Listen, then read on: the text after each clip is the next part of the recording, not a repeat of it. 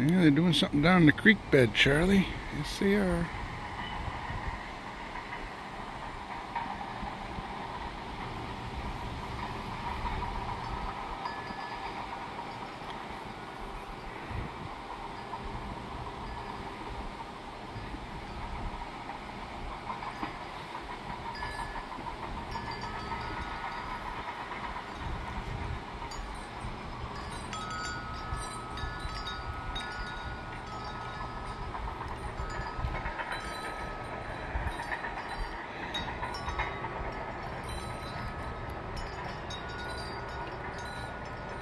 Can hear that bulldozer running down there in the creek bed.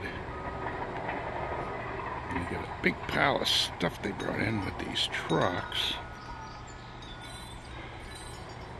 I don't know what the big yellow thing's supposed to be doing over there. They've been working for a couple of days down here. That's where the valley here where this power line is. Who knows?